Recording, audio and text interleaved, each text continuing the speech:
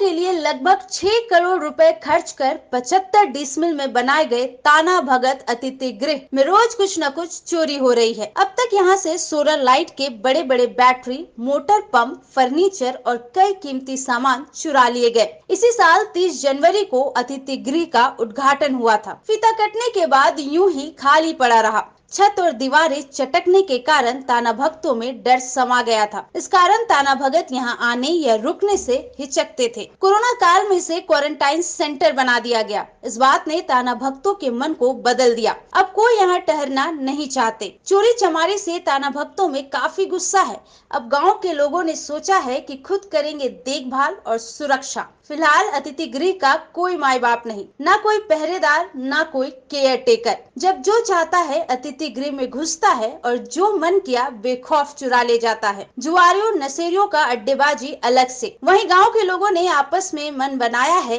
कि इस अतिथि गृह को अब मैरिज हॉल बना देंगे। गाँव घर में जिस किसी बेटा बेटी का शादी, ब्याह या कोई और फ़ंक्शन होगा, उन्हें मुफ़्त में जगह और सारी सुविधाएँ दी जाएँगी। बहुत जल्द इस मसले पर गाँव में बैठक होगी। आगे कैसा, क्या होगा? सुने क्या बताए मुखिया के पति संजय तिर्की। जो स्टार्टिंग हुआ था तो कॉन्ट्रेक्टर के अंदर में था। तब तक हम लोग का गाँव वाला को कोई इन्वॉल्वमेंट नहीं था। बन के तैयार भी हुआ ओपनिंग भी हो गया। तब तक हम लोग नहीं जान मतलब हम लोग नहीं जानते कि टाना भगत लोग आता है, जाता है, बहुत लोग रहता था। तो हम लोग को कोई अंदाज़ा था, नहीं था इस तरह का कंडीशन हुआ। एक डेढ़ में जब पता चला कि चोरी हो गया है, तब हम लोग यहाँ पे आए हैं। तब देख रहे हैं कि यहाँ का मतलब आपका सोलर लाइट का बैटरी हो गया कुछ कुछ टेबल कुर्सी और आपका पम्प पानी वाला ये सब चोरी हुआ है।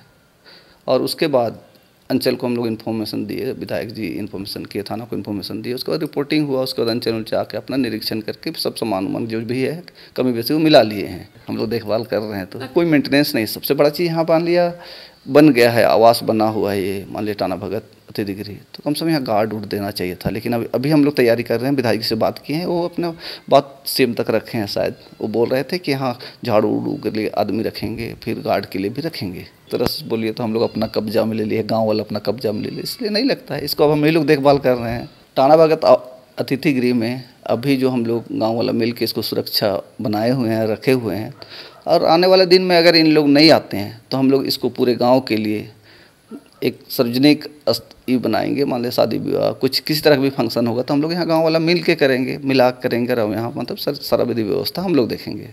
पहली बार टाना भक्तों के लिए कुछ यदि राजधानी में बनी है तो ये अतिथिशाला बनी है, और उसको भी जो निर्माण कार्य की गई है, वो थोड़ा बेहतर ढंग से नहीं की गई है तो अच्छा नहीं लगता है। वैसे। ये हम चाहेंगे कि एक बार जाँच तो हो, अभी अपने बीच ये आदिवासी मुख्यमंत्री बने हैं तो ये जाँच होनी चाहिए। कोहराम लाइव के लिए संजय कपड़दार के साथ रूपम की रिपोर्ट।